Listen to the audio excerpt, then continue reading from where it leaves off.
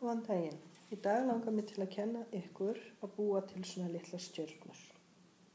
Þetta er tvíþægt verkefni. Fyrst þurfum við að breyta ferkontuðu blaði í fimmhind blað.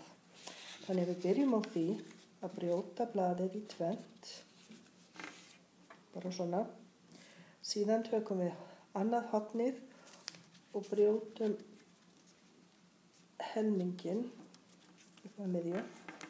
Þá fáum við svona hotn.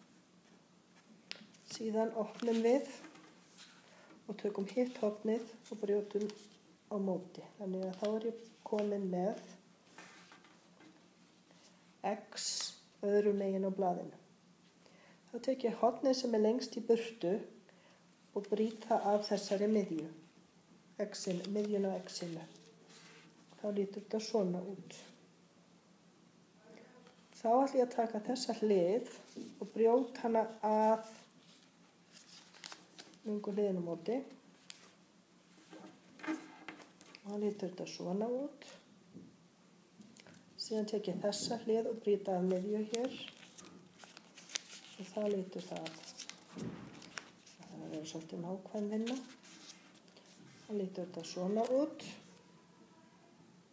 Og þá tek ég þetta í tvent. Þannig að nú er ég komin bara með þrýhyrning með alls konar litlum auka lufsum. Það þarf ég að taka upp skærin. Það segir okkur að þetta er ekki ekta origami og það er bara allt í læg, það er bara er svo leis. Og ég klippi eftir línunni, þessari hér, klippi bara beint yfir dupp.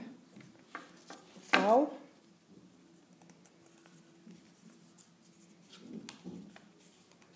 er ég komin með fimm hund form. Svolítið merkilegt. E, Sumbrotin snúa inn og við viljum að öll brotin snúi þannig. Þannig ef það er eitthvað brot sem snýr upp, þá ætlum ég að snúa því við. Þannig að, og ferði bara eftir brotinu og fer eftir því. Þannig að nú snýr það inn og svo er eitt í viðbútt. Það er alltaf tvö brot sem við þurfum að snúa við. Þá er ég komin með fimmhyrningnum fullt af brotum. Ég er búin að teikna hérna inn í þetta svo það sé auðveldar að sjá brotin og hinum einn síni ég línuna frá miðju og litlu bútana. Á þessu stíi þá ætlum ég að byrja að brjóta. Ég vil að þessi hlið fari upp alveg eftir beinu línunni, þess er rauða línan á svörtu, en grænu línurnar þær eiga að fara upp að þessum hotnum. Það hljómar förðulega en ég hugsaði að þegar sjá það, það er ekki alveg eins undanlegt. Opna þetta, sný, aftur flata hliðin að, grænu línurnar að hérna, svarta brotinu, rauða línan vil alltaf vera bein, dutt og ég fer allan hringin og gerir þetta nákvæmlega eins. Þar að leiðandi fæ ég fimm brot og í miðjunni sé ég glitta í brotin fimmhyllning. Sjáu það hér. Okay. Næsta skrefið er að leggja hérna saman og lifta þessari hérna hlið. Það myndast hopp hér. Þá að það leggjast niður. Sjáu hvernig það gerðist. Þannig að ég var með brotið, lyfti þessu, þá fyrir þetta hérna niður. Og þetta vil ég gera allan hringin, koll og kolli. Þannig að ég eldi þetta allan hringin á stjórnunni. Það fyrir hringinu, þetta er vist ekki orðin stjórna.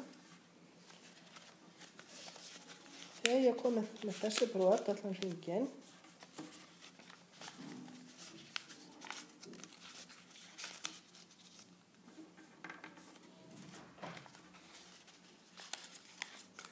þá finn ég að allt leggist, leggst niður. Þá ætla ég að láta þetta koma svona niður. Dóing, þá er ég komið með tvær, hérna, tvær arma, tvö, já. Við sjáum hvernig þetta kemur. Íti þessu til. undir þessu. Allt í hennu fellur þetta bara saman sem stjarnar.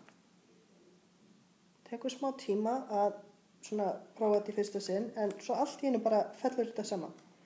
Svo ætlum ég að snúa þessu við. Þá sé ég fimm hittning aftan á og arma þarna snúandi. Þá ætlum ég að brjóta þess, þessa hlið að miðju. Þannig ég bý til, fyrir eftir rauðuröndinni hennar, ég bý til spís hér sem verður náttúrulega hlutastjörninni, fletti eða sný, geta aftur alveg eins, eina línu,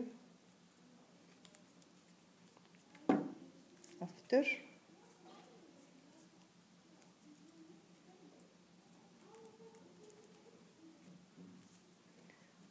aftur, þá getur ég komið allan hringin. Síðasta er svona pínlítið mói, það er vissin. Þegar maður þarf að fara hérna inni, þannig að við tökum bara, opnum aðeins, fyrir með þetta inn, fyrir eftir. Að sjálfsögðu þegar þið eru að gera þetta er langsnöfast að vinna þetta á borðinu, en það sem ég að reyna að sína ykkur þetta, þá vinn ég þetta svolítið í loftinu.